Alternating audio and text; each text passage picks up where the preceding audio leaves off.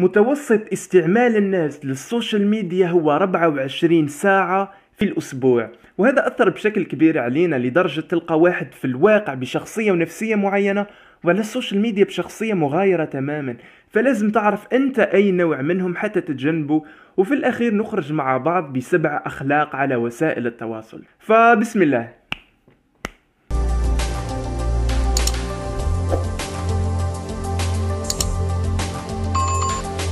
السلام عليكم ورحمة الله. أنا عبد الرحمن وهلا بيك معايا على قناة عبود. وبدون مقدمات خلينا ندخل في الموضوع.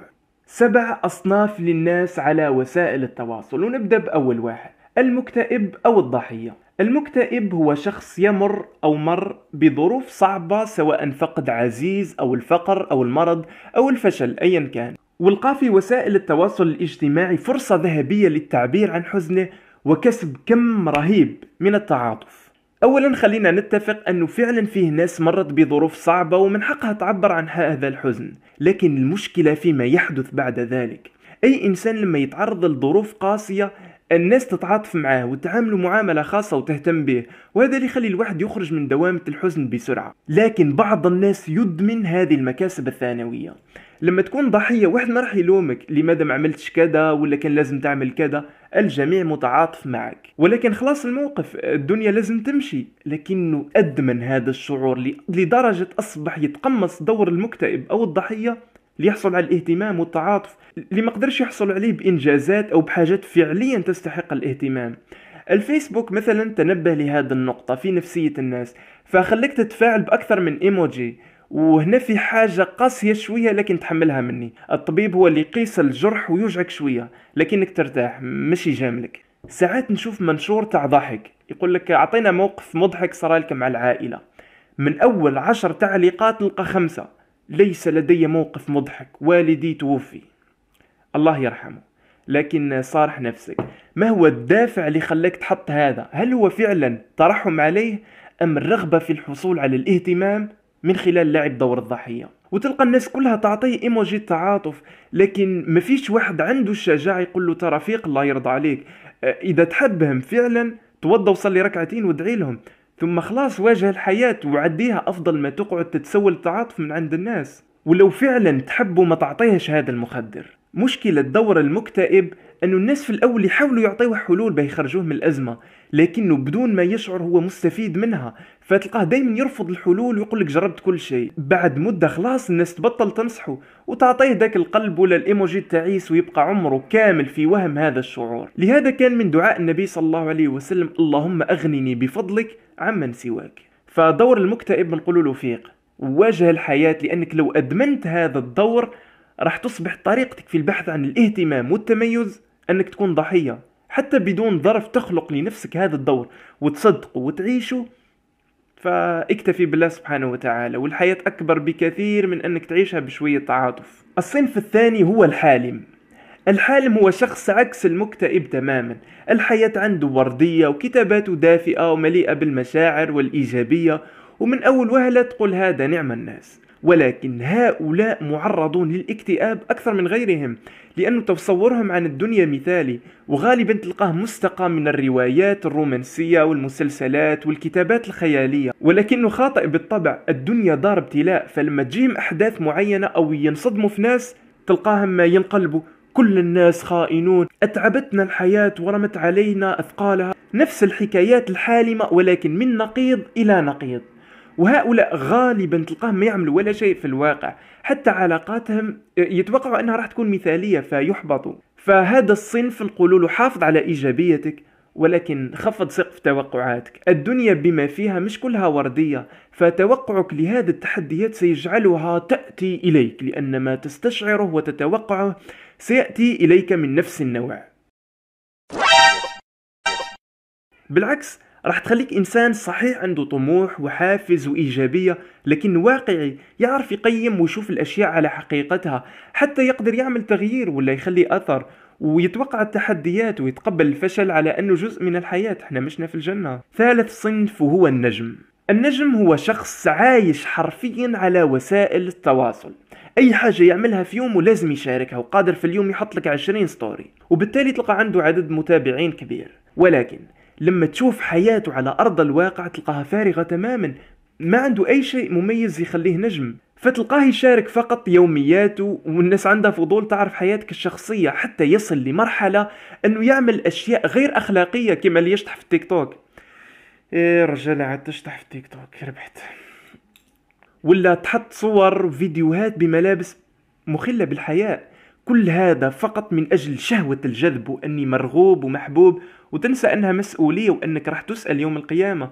خاصة لما تشوف الاكتئاب مرتبط بشكل كبير بالسوشيال ميديا والمقارنات اللي تعملها الناس لما يشوفوا حياتك المفلترة. الخطر في دور النجم أنه يخلي قيمتك كإنسان مستمدة من الإعجابات والتعليقات وتقييم الناس لك. وهنا المشكلة أنه تعطي مفتاح سعادتك للناس فبمجرد comment ولا dislike ممكن يفسد لك يومك.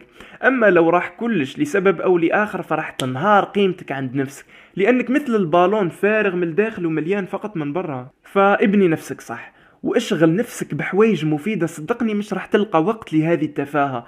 إلى أن تصل للمرحلة اللي تستمد قيمتك من رضا الله سبحانه وتعالى وما يهمكش تماما الناس. رابع صنف وهو التافه. التافه هو الشخص اللي يصنع النجم. شخص فارغ على العام طالع هابط يتابع يوميات النجوم ويغذي عندهم شهوة الجذب. مشكلة التافه أنه يظن أنه فقط يتسلى. لما يشوف فيديو أو حاجة تافهة وينشره عنده.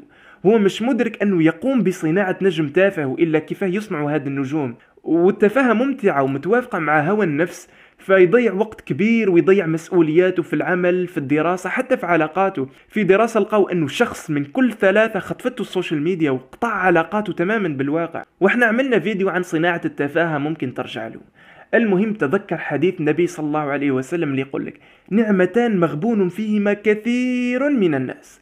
الصحة والفراغ. هذا الفراغ نعمة وسنحاسب عليه فعلى الأقل استغله في متابعة محتويات هادفة تفيدك في دنيتك وفي قبرك واتخذ قرار إنك ما تكون وقود لانتشار التفاهة خامس نمط وهو الناقل غير المتثبت.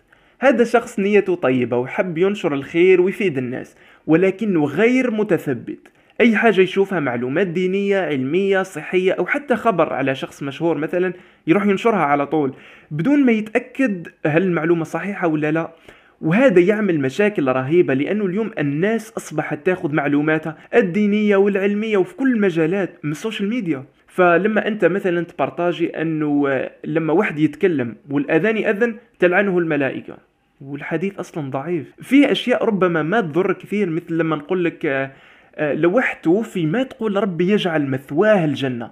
لكن قول ربي يجعل مأواه الجنة لأن مثواه مكان في جهنم تقال للكافر. قال الله تعالى أليس في جهنم مثوى للمتكبرين؟ أما مأواه فهي للمؤمنين. قال تعالى فأما من خاف مقام ربه ونهى النفس عن. عن الهوى فإن الجنة هي المأوى. تمام. أول مرة تسمع هذه المعلومة؟ partagez. ولكن في نفس الآية فأما من طغى وآثر الحياة الدنيا فإن الجحيم هي المأوى وأيضا ومأواهم جهنم وبئس المهاد. فالمأوى ولا المثوى يدل على المكان وتستعمله للجنة ولا للنار. شفت؟ مشكلة ال social media أنها فتحت المجال للجميع أنه يتكلم في قضايا المفترض لا يتكلم فيها إلا المتخصصين. لدرجة وصلت ناس عوض ما يستفتي علماء يقول لك يا جماعة واحد يقول لي هل الوضوء بالمكياج حلال ولا حرام؟ واحد يقول لها حلال الأخر يقول لها حرام. تجرؤ على شرع الله وتجرؤ على العلم. فأرجوك امتلك عقلية المتثبت. قبل ما تنشر أي حاجة تأكد من ثلاث أشياء. هل هذا الخبر صحيح؟ ما عندكش وقت تتأكد لا تنشر شيء لما يسألك عليه ربي سبحانه ما تعرفش تجاوب. وممكن فيه ناس بنات عليه عقيدتها. ثاني حاجة آه، هل فيه فضائح ناس أو شيء في أعراضهم؟ كامل نعرف حادثة الإفك. لما المنافقون تكلموا في عرض عائشة رضي الله عنها وهي بريئة. وفيه من المؤمنين لا يملك عقلية المتثبت. فربي سبحانه عاتبه في القرآن فقال لهم يعظكم الله أن تعودوا لمثله أبدا إن كنتم مؤمنين. وخليت لك رابط حلقة عن حادثة الإفك لازم تتفرجوا. ثالث سؤال هل هذا الشيء مفيد ويرجى ثوابه؟ النبي صلى الله عليه وسلم يقول لك من كان من كان يؤمن بالله واليوم الآخر فليقل خيرا أو ليصمت. إذا فيه شيء مفيد ومتأكد أنه صحيح عقلية المتثبت. فخلينا ننشره عندك أجر. إذا ما كنت متأكد أو تقيس به أعراض الناس أو ما فيش منه أي فائدة فاصمت. فكانوا هادو ثلاث نصائح للناقل غير المتثبت. سادس نمط هو المتطفل أو القرعاج اللي يدخل بنية أنه يعرف فلان وش عمل آه فلان راح يحوس فلان وش شرا. وعادة تلقاه غارق في حياة الناس ويقع بزاف في المقارنات وأحيانا في الغيبة اللي هي من أكبر الكبائر. وما يحترمش أنه عندك خصوصية وهذه من مشاكل ال social media. تلقى واحد يرسل لك رسالة على 12 الليل ولما ما تجاوبش يزيد لك علامة تعجب. تلقى إنسان عادي جدا يروح ويشتم ولا يضحك على عالم كبير أو حتى على شخص كيفه لدرجة تخرج مصطلح التنمر الإلكتروني. مفيش قواعد تضبطه مفيش احترام خصوصية. فالمتطفل نقول له احترم خصوصية الناس وأعراضهم. النبي صلى الله عليه وسلم يقول لك من حسن إسلام المرء تركه ما لا يعنيه. وعرف أنه جمال الكثير من الأشياء راح تشوفه عن بعد. ولو قربت بزاف وحوست ونبشت ممكن راح تلقى أشياء مش مليحة والناس ما تحبكش تعرفها وكلنا عنا عيوب ومن تتبع عورة أخيه تتبع الله عورته فمثل ما تدخل بيوت الناس أعمى وتخرج منها أبكم طبق هذا على ال social media. سابع صنف وهو المستقوي بال social media. الكثير من الناس يخافون المواجهة في الواقع. وجدوا في ال social media المناخ المناسب لما فيهش مواجهة فاستقووا به فتلقى واحد لو تتحاور معاه إنسان سطحي جدا ويظهر أنه جاهل وضعيف. لكنه سبحان الله على ال social media يرد عليك وكتابات ومقالات بعضهم يتكلم عن الحرية والحقوق وهو أصلا في دارهم ديكتاتور. تحس فيه انفصام ثم بعد مدة يبدأ الواحد ينعزل عن الواقع لأنه عارف أنه ضعيف فيه. فعود ما يطور نفسه ينغمس أكثر في ال social media ويتقمص هذه الشخصية القوية اللي وراها ضعف كبير يظهر عند أول مواجهة. وهنا فائدة صغيرة أنه لا تحكم أبدا أبدا على شخص من خلال ال social media. أيوة هي ممكن تعطيك مؤشر لكن صدقني كمية الناس لابسة قناع الطيبة والعلم والثقافة قد تكون في الواقع من أسوأ أو من أضعف الناس وربما العكس. فالمستقوي بالسوشيال ميديا نقولوا له قوي نفسك في الواقع. وخلق الإنسان ضعيفا عادي كل واحد فينا عنده ضعف ولكن العيب أن تعالج الخطأ بخطأ آخر. فطور نفسك واستعين بالله سبحانه وتعالى وهذه رحلتنا في الدنيا قد أفلح من زكاها. هذه المواقف هي اللي تبين لك عيوب نفسك حتى تصلحها. مش تهرب وتذكر أنه فضاء افتراضي. مهما حسيت بالقيمة والقوة أنك كتبت مقال عملت تعليق فيديو عالم افتراضي والعبرة بما تفعله في الواقع. وكانوا هادو سبع أصناف للناس على ال social media. وكاين ناس الحمد لله يستعملوه بوعي ويستفيدوا من خيره وينحيوا على بالهم بالحلال. ولكن الهدف كان أنه نخرج بسبع أفكار ممكن نعتبرهم أخلاق السوشيال ميديا. فخلينا نعاودهم مع بعض. أول واحد لا تلعب دور الضحية وأنك دايما مكتئب ومظلوم وتذكر أنه السلبية معدية والناس اللي فيها يكفيها. ثاني حاجة لا تعيش في عالم مثالي. إحنا في الدنيا فيه الخير وفيه الشر. فخليك إنسان عنده طموح وإيجابية لكنه واقعي يعرف يتعامل مع الواقع. ثالث حاجة كفى مشاركة لجميع التفاصيل اليومية لأنك أنت عارف أنها مش حياتك الحقيقية. فما تفتن الناس تخليها تدخل في مقارنات؟ املأ نفسك حتى لو راحت عليك في يوم من الأيام ما تنهار قيمتك. رابع خلق هو استعمل ال social media في المفيد. لا تكن جزءا من التفاهة وأنا خليت لك رابط فيديو عن التفاهة في ال description. خامس خلق وهي عقلية المتثبت. قبل ما تنشر أي حاجة تثبت وكفانا نشر الحويج ما وراها أي نفع مجرد أخبار أو أعراض الناس. ولهذا يقول النبي صلى الله عليه وسلم كفى بالمرء إثما أن يحدث بكل ما سمع. سادس خلق هو احترم خصوصية الناس وكفانا استهزاء أو نبش في حياتهم الخاصة.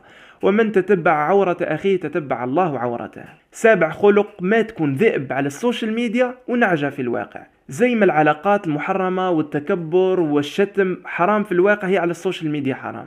وكلنا في الدنيا عنا ضعف ورحلتك في الدنيا إنك تحاول تتخلص منه وتستقوى بالله سبحانه وتعالى مش تتخبى وتهرب وراء ال social media. وفي الأخير ما بقى لي نقول لك غير تهلا لي في روحك وخليك أنت الأمل وفيها خير إن شاء الله. السلام عليكم.